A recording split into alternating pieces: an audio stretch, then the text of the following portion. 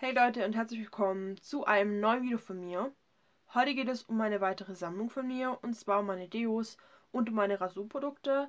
Und ich habe dieses Mal die Deos und die Rasurprodukte zusammengelegt und nicht die Seifen und die Rasurprodukte, weil ich persönlich finde, dass Deos und Rasur so ein bisschen besser zusammenpasst. Deswegen habe ich diese zwei Kategorien zusammengelegt, weil das beides Kategorien sind, in denen ich nicht super viel Produkte da habe und ein einzelnes Video würde sich da wirklich nicht lohnen. Deswegen habe ich das zusammengelegt. Und ich starte aber mit meinen Deos und da habe ich momentan ähm, ja, sechs Produkte da. Und zwar drei Deo-Sprays und drei Deo-Sticks. Und ich starte einfach mal mit den Sprays, die ich da habe. Und zwar habe ich hier zu einem von Balea das Deodorant Sensitive ohne Aluminium für die Verwendung nach der Rasur geeignet, sanft zu empfindliche Haut, Pflegekomplex mit Kokosöl, ohne Alkohol und ohne Ethanol, 24 Stunden Schutz. Finde ich wirklich ganz schön. Ich verwende das jetzt nicht für mich, sondern als Raumspray. Also dafür habe ich es auch gekauft, um einfach mal so ein bisschen zu sprühen. Gerade auch momentan, ich habe das jetzt schon öfters erwähnt, wir haben momentan Bauarbeiter im Haus, die hier oben mein Badezimmer neu machen, eines meiner Badezimmer. Und es riecht halt dann schon immer sehr staubig, wenn ihr wisst, was ich meine. Und da hilft das dann so ein bisschen, dass es nicht mehr so ganz so staubig riecht, sondern so ein bisschen frischer. Mag ich auf jeden Fall ganz gerne. Und ja, jetzt so als richtiges Deo würde ich es persönlich nicht benutzen, weil ich da was Stärkeres brauche. Dann habe ich hier einmal von Dove Go Fresh das äh, Deo-Spray mit Granatapfel und Zitronenverbenduft. Das ist auch ein Antitranspirant, also mit Aluminium, aber dafür ohne Alkohol. Das ist hier jetzt ähm, eben die Variante Go Fresh und die habe ich früher total, total gemocht. Hatte die mal eine Zeit lang dann nicht mehr, weil es es dann nicht mehr mit Aluminiumsalzen gab und jetzt gibt sie es wieder mit Aluminiumsalzen. Und ich mag das halt total gern. Ich finde die Schützen ganz gut, also so zum auf ein normales Deo drüber sprühen. Ich zeige euch gleich meine Stick-Deos, dann wisst ihr, was ich meine. Um über so ein Stick-Deo drüber zu sprühen, ist es vollkommen in Ordnung. Dann schützt es auch nochmal so einen Ticken länger und man hat halt ein bisschen einen schöneren Duft. Aber ähm, ja, so einzeln kann ich es nur verwenden an Tagen, wo es nicht so heiß ist. Also bin ich auf jeden Fall sehr froh, dass ich das damals entdeckt habe. Und dann habe ich hier einmal von Rexona das Cotton Dry Deo Spray. Das habe ich wirklich schon sehr, sehr oft immer wieder mal gehabt. Das riecht halt einfach so sehr, sehr frisch und sauber, ist auch ein Antitranspirant und das soll 48 Stunden halten. Ich bin ehrlich, selbst wenn ich jetzt 48 Stunden lang nicht duschen gehen sollte, würde ich trotzdem nachsprühen. Ähm, das hier ist jetzt, ich glaube, auch mit Alkohol. Wenn ich mich nicht irre, steht zumindest nichts drauf. Und das riecht halt einfach frisch frisch und sauber und das mag ich halt ganz gern. Und weil ich Rexona so gerne mag und weil super, super viele immer wieder von den Maximum Protection Degos schwärmen, habe ich mir dort mal welche gekauft. Und zwar zu einem die Variante Clean Scent. Das ist wirklich ein sehr, sehr sauberer Duft. Das ist hier halt so eine Deo-Creme. Das ist, hat halt dann solche Löcher. Dann dreht man hier unten an diesem Teil und dann kommt hier quasi Creme hoch. Es wird empfohlen, zwei Umdrehungen quasi auf die Achseln aufzutragen. Das soll man halt verwenden, nachdem man quasi duschen war. Also quasi frisch aus der Dusche und dann soll man das drehen, zwei Klicks quasi und dann unter eine Achsel, dann wieder drehen, zwei Klicks und wieder unter die Achsel. Und ich muss sagen, das schützt schon wirklich sehr, sehr stark. Also ich habe wirklich das Gefühl, dass ich dann lange nicht schwitze und auch lange nicht rieche. Aber ähm, den Duft hier von dem Clean Scent hat mich nach einer Zeit wirklich genervt. Also das riecht halt irgendwie ultra, ultra frisch ich weiß nicht, irgendwie mochte ich das dann nicht so gern. Ihr seht, wie weit das schon aufgebraucht ist, also äh, mehr wie die Hälfte auf jeden Fall. Werde ich definitiv dann jetzt im Sommer aber fertig benutzen, werde halt dann einen anderen Duft noch drüber sprühen quasi.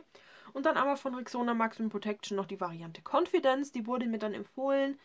Ähm, das ist halt jetzt ähm, ja eine Variante, die ein bisschen weiblicher, pudriger riecht. Das mag ich auch tatsächlich lieber vom Duft her. Schützt genauso gut. 45 Milliliter sind hier drin, also auch eine recht gute Größe. Und hier kann man auch sehen, das ist circa bis hier leer. Also wenn man die beiden so vergleicht, ich mache gerade mal den Deckel wieder drauf.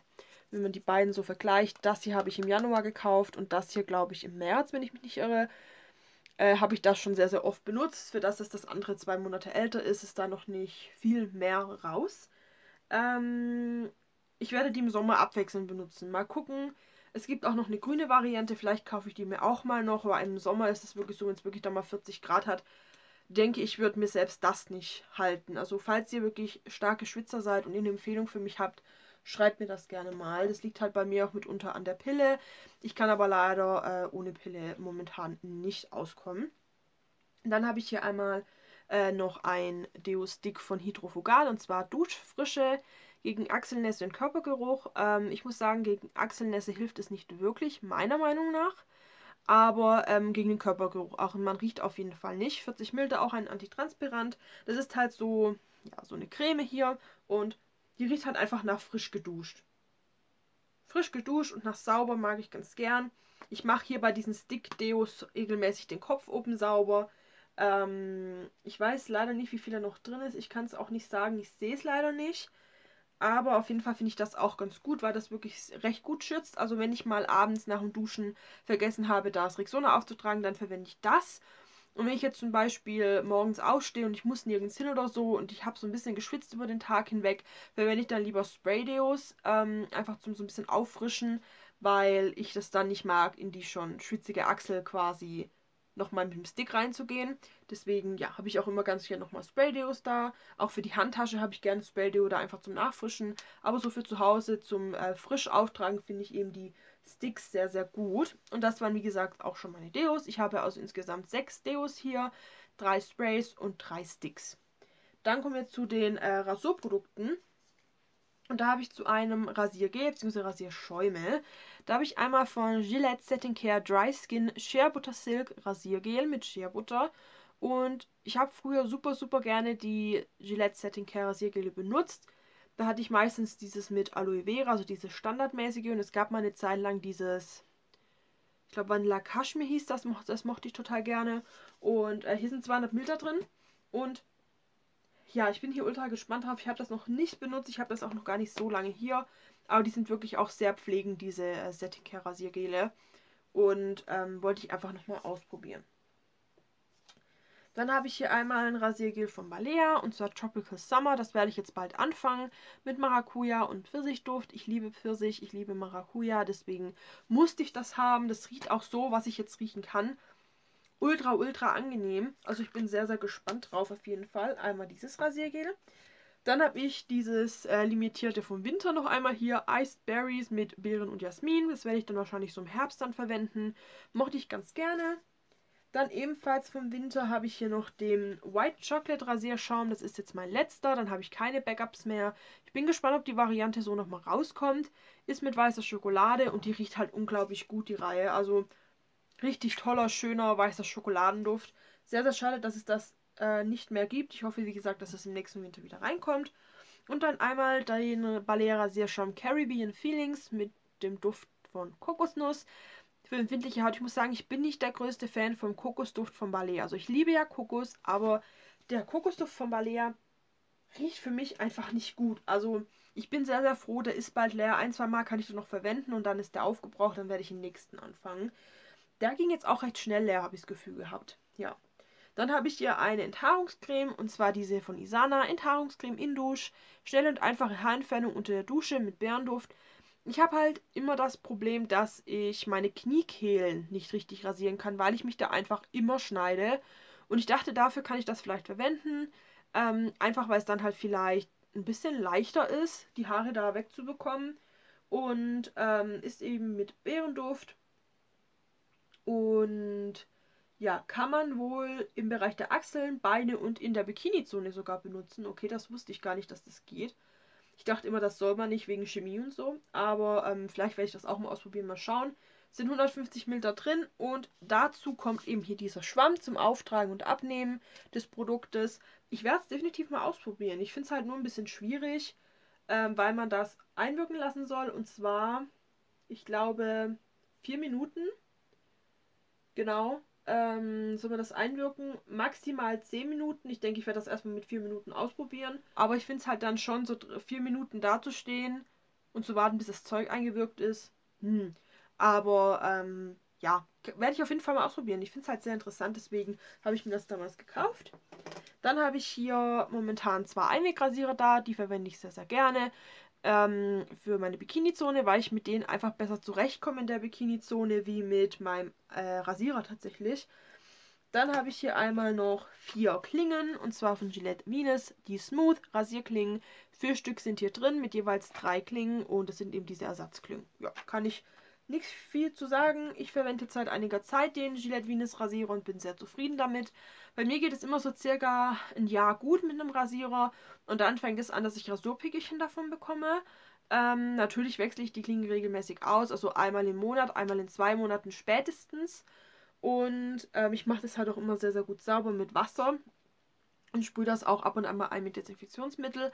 Aber irgendwann fängt es eben an, dass ich Rasurpickelchen davon bekomme und dann ist es tatsächlich so, dass ich einen Rasiererwechsel machen muss, also von einer anderen Marke, zum Beispiel von Nivea, den mochte ich ja auch ganz gern.